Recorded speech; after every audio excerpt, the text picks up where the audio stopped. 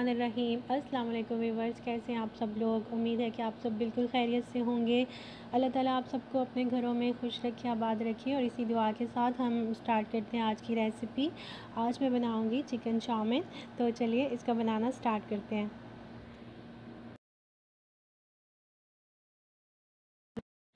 सबसे पहले हम स्पैगेटी को बॉईल कर लेंगे। अगर आपके पास एग नूडल्स या फिर चाउमिन नूडल्स हैं तो आप वो यूज़ कर सकते हैं। मैं स्पैगेटी से बना रही हूँ। ये मैंने एक 400 ग्राम वाला पैकेट डाला है और एक मैंने हाफ़ डाला है। आप अपनी फैमिली के हिसाब से बना सकते हैं।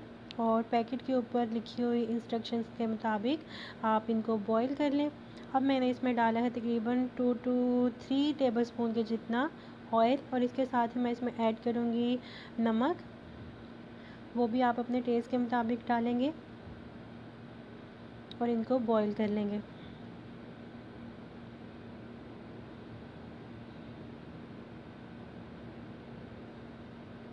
तो स्पैगेटी जो हैं वो बॉईल हो चुकी हैं। अब मैं इनका पानी जो है वो ड्रेन कर दूँगी और साथ ही मैं इनके ऊपर ठंडा पानी डाल दूँगी और इनको ड्रेन होने के लिए छोड़ दूँगी।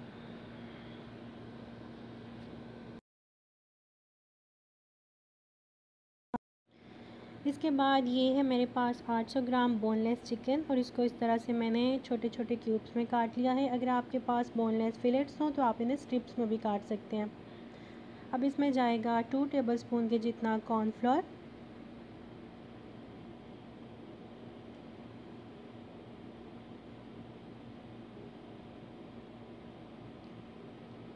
साथ ही इसमें जाएगा तकरीबन थ्री टेबल स्पून के जितना सोया सॉस आप अपने टेस्ट के मुताबिक भी डाल सकते हैं।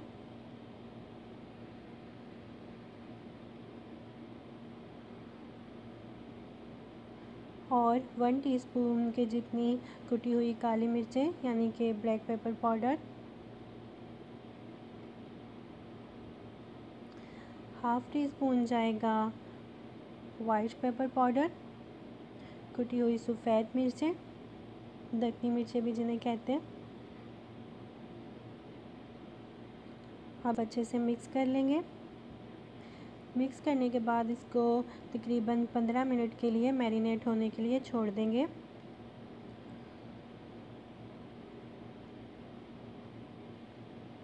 और नमक इसमें मैंने ऐड नहीं किया क्योंकि इसमें सोया सॉस डाली है तो नमक इसमें मैंने नहीं डाला है।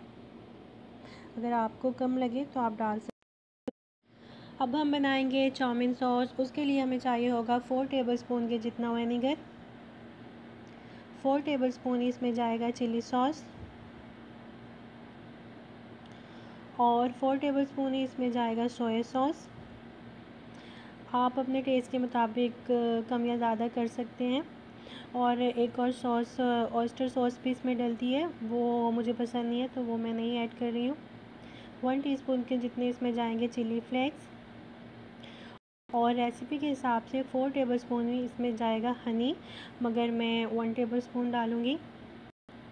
हनी की जगह आप इसमें ब्राउन शुगर भी ऐड कर सकते हैं। अच्छे से मिक्स कर लेंगे। तो ये जो हमारी चाउमिन सॉस है, ये रेडी है तो इसको हम साइड में रख देंगे। इसके बाद हमें चाहिए होंगी कुछ वेजिटेबल्स मैंने ये थ्री कैप्सिकम्स ली हैं ग्रीन रेड और येलो आपके पास जौन सा भी कलर हो, आप वो डाल लें। और फ़ोर मैंने लिए थे, गार्लिक के क्लॉव्स उनको मैंने चॉप कर लिया था और तकरीबन दो इंच के जितना मैंने जिंजर का पीस लिया था और उसको मैंने जूलियन कट कर लिया था। एक हमें गाजर चाहिए होगी, मेरे पास फ्रेश नहीं थी, ये ग्रेट की हुई, पड़ी हुई थी तो इसलिए मैं ये यूज़ करूँगी। और एक हमें चाहिए होगा स्मॉल साइज़ का अनियन तो मैं इन वेजिटेबल्स को कट करती हूँ जूलियन कट करूँगी और उसके बाद फिर हम चलते हैं नेक्स्ट स्टेप की तरफ़। तो ये कैप्सिकम्स जो हैं, ये मैंने कट कर लिए हैं। कैरेट को भी, जो अगर आप फ्रेश यूज़ करेंगे तो इसी तरह काटेंगे। अब हम एक कढ़ाई में तकरीबन हाफ़ कप के जितना ऑयल डालेंगे, अच्छे से इसको गर्म करेंगे और उसके बाद इसमें ऐड करेंगे जिंजर गार्लिक थोड़ा सा इसको फ्राई करेंगे और उसके बाद इसमें ऐड कर देंगे अनियन। अनियन को थोड़ा सा पकाने के बाद मैरिनेट किया हुआ चिकन हम इसमें डाल देंगे। और हाई फ्लेम पे अच्छे से चिकन को फ्राई कर लेंगे।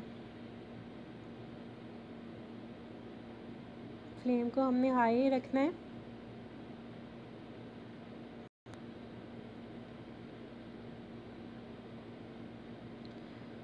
तो ये देखें चिकन जो है, अच्छे से फ्राई हो चुका है। अब हम इसको निकाल लेंगे।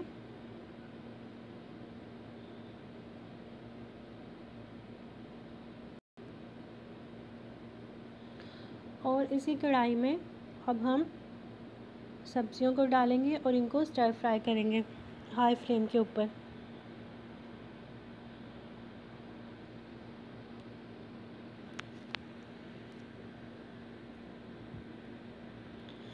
तकरीबन दो मिनट के लिए हाई फ्लेम पे हम इनको स्टर फ्राई करेंगे। ज़्यादा नहीं गलाना है हमने, बिल्कुल क्रंची रहनी चाहिए।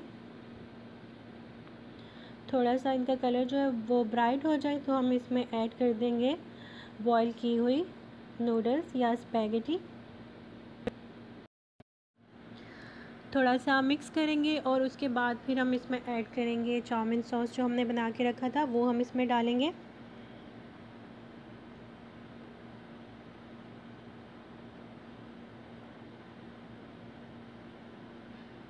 और साथ हम इसमें डाल देंगे।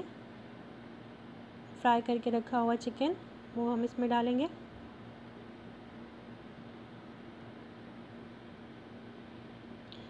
अब इन तमाम चीज़ों को हम अच्छे से मिक्स कर लेंगे हाई फ्लेम के ऊपर। फ्लेम को हमने बिल्कुल भी लो नहीं करना।